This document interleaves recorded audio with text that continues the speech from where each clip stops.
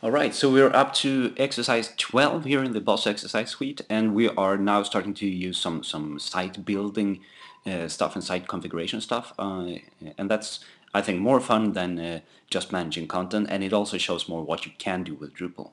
Before doing this exercise we need to add one or two comments on the site uh, so head over to one of the articles you have, probably listed on the front page and scroll down and add a comment. Could be something like this is a comment, comment, comment, comment, comment, and save it. I'm gonna actually add two comments. Why not a reply to this one?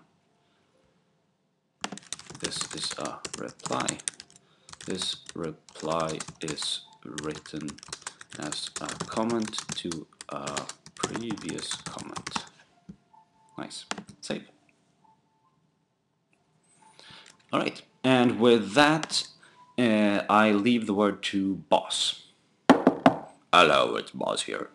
Yeah, I've noticed this website is actually attracting quite a bit of traffic, and that's, yeah, uh, yeah, it's actually pretty good. Uh, anyways, I, I've seen there's uh, new comments on the site every once in a while, and I thought it would be nice to actually see those when you go to the front page. So I, I like to have uh, something here in the in the left uh, sidebar, left column here that uh, that shows the latest comments, the most recent comments. Uh, I would like to have, say, the three most recent comments in the left side, on the left side here. Can you do that? If you have any problems with this, I suggest you call the consultants we have, or either you do that or you talk to intern. She actually seems quite capable of doing technical stuff, it turns out.